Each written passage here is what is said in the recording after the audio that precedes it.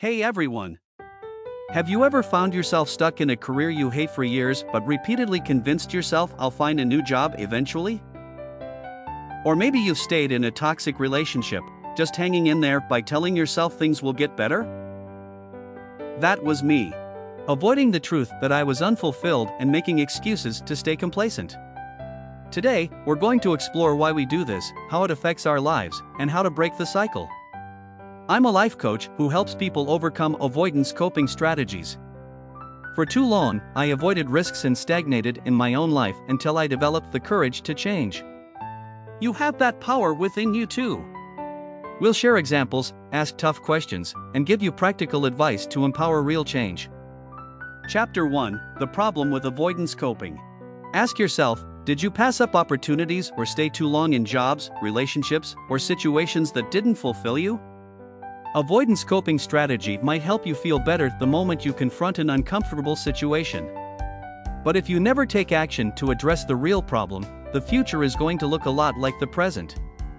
Have there been times you avoided discomfort only to feel worse later? Break the cycle now before your situation feels unchangeable. Chapter 2 Why It's Hard to Change and the Role of Self Efficacy. We use avoidance coping when we feel powerless, but it's a vicious cycle. The more we avoid, the less control we feel. However, avoidance coping strategies are related to self efficacy.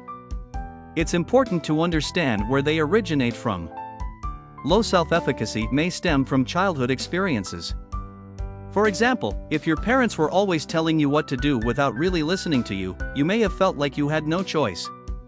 Over time, you may have convinced yourself that you don't care. Your beliefs about yourself aren't fixed, you can reframe them. Develop a growth mindset, believe you have the strength within to change. Ask yourself Have you avoided facing issues only to have anguish resurface later?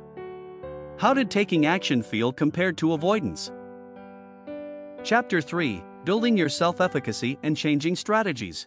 Let's reframe avoidance urges. One way to do that is by developing a growth mindset.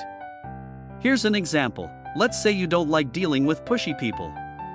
Instead of just accepting that as a fact about yourself, you can tell yourself something like, okay, I know there is a schema for avoiding interactions with pushy people in my mind, but this doesn't mean that I'm unable to adapt to the environment.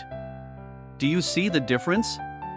Instead of labeling yourself as a certain type of person, you can recognize this tendency as a behavior pattern that you can adjust. If you keep telling yourself this and start acting on it, you'll slowly start to feel more flexible. Change is challenging but have self compassion. Focus on progress, not perfection. Don't dwell on mistakes.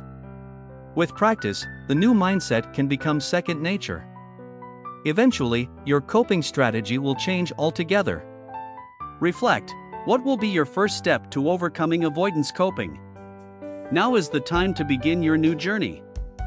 Don't forget to like, share, and subscribe for more empowering content. If you want a more detailed explanation of overcoming avoidance coping, click on the link in the description. Thank you for watching.